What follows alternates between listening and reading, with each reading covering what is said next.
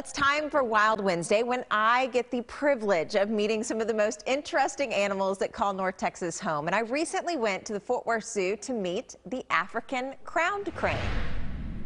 Well, we're here at the Fort Worth Zoo, and today we're going to introduce you to a bird that almost kind of looks like it should be royalty. Here to explain is Neil. So, Neil, what are we looking at here with the crown on their head? So these two females are African crown cranes, and they can be found in the sub, uh, sub different areas of Africa. But up here in the front part of the zoo, this is also a bongo exhibit, so this is a mixed species exhibit as well. But he's inside right now.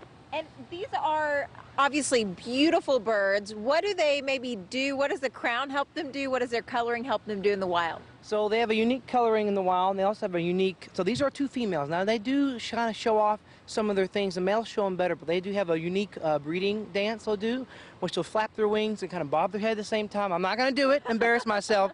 Flap their wings and kind of move in a slow circle and kind of bob and move just like that. Okay, and what about their wingspan? I'm seeing them kind of flap their wings every now and then. Can they fly or do they fly? Uh, yes, these birds can fly.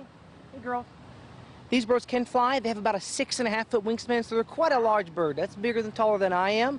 So they aren't migratory birds, so they don't fly long distances. They do fly short dis distances between breeding and non-breeding areas. And what are you feeding them? Oh, so today they have their special treat they love so much. These are mealworms, and then the other bits in here are crickets as well. Fascinating. Well, if you want to come see awesome birds like the African crown crane, you can come visit the Fort Worth Zoo.